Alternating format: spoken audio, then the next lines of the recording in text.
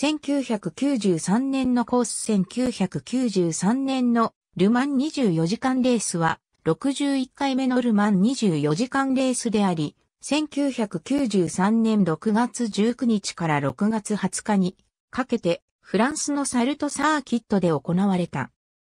3500cc なマシンによるスポーツカーレースは1991年シーズン終了後にも中止される可能性があって、プジョーやトヨタ自動車の協力でようやく成立したもののその後さらに参加台数が減って1992年で中止となっており、この影響をまともに受けて、ルマンの観客動員数も大幅に減った。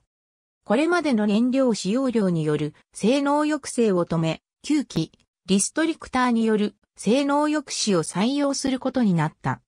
1991から92年のスウィック 3500cc なマシンによる主役となるカテゴリーで、プジョーとトヨタの一騎打ちとなった。プジョーのワークスチームプジョータルボスポーツはこのレース終了で、監督のジャントットがフェラーリのフォーミュラ1チームへ移籍して、チーム解散することが決定していた。前年のプジョー905を改良して3台持ち込んだ。トヨタはトヨタ TS010 のタイヤをグッドイヤーからミシュランに変更して3台持ち込み、戦闘力はプジョーを上回ると言われた。1990年までのグループ C である。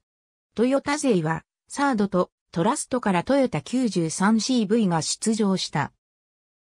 ポルシェは、プライベートチームからポルシェ 962C が出場した。新しいルマンプロトタイプカテゴリー。イムッサの WSC のマシンで3リッター以下の生産者または F3000 エンジンを使用し、リストリクターによってバランスが取られているコンストラクター製一隻のレース専用車である。軽量で比較的安価に参戦できたが、カテゴリー自体が先行き不透明で参加台数は多くなかった。GT カーのクラスで合計30台が参戦した。安定した参戦台数を得るために認められたカテゴリーではあるが、市販車が再びルマンに帰ってきたことで将来に期待をつなぐカテゴリーでもあった。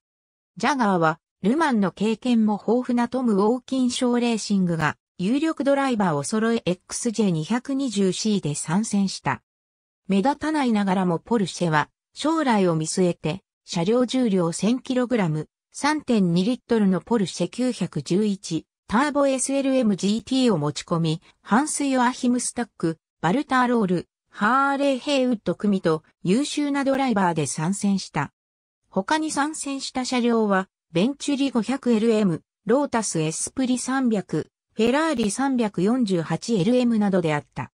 中にはアマチュアが持ち込んだ、ほとんどノーマルに近い車両もあった。プジョーは前年より3秒以上遅い3分24秒94を出したプジョー905の2号車が1位となった。トヨタもタイム短縮には消極的であった。トヨタ TS010 の36号車が3分26秒14で2位。トヨタは一時トップに立ったもののトランスミッショントラブルで後退、特に後で判明したメインシャフトベアリングの問題は大きく、これでピエール・アンリ・ラファネル、ケニー・アチソン、アンディ・ウォーレス組はリタイアに追い込まれ、他の車両もトランスミッション交換にかなりの時間を取られたのが致命的だった。電気系統のトラブルの原因がオルタネーターにあった原因究明にも時間を費やした。36号車の4位が最高位。これに引き換えサードとトラストはトラブルなく24時間を走り切り、総合5位、6位となった。ジェフ・ブラバム、クリストフ・ブシュー、エリック・エラリー組の乗るプジョー905の3号車が24時間で 5100km を平均速度時速 213.358km で走って優勝した。プジョーはこの年ヤニック・ダルマス、ティエリー・ブーツェン、テオ・ファビの1号車が2位、マウロ・バルディ、フィリップ・アリオー、ジャンピエール・ジャブイーユ組の2号車が3位と表彰台を独占した。GT クラスは、ジョン・ニールセン、デビッド・ブラバム、デビッド・クルサード組が総合15位クラス優勝を果たしたが、2週間後に排気系のレギュレーション違反が発覚して失格となった。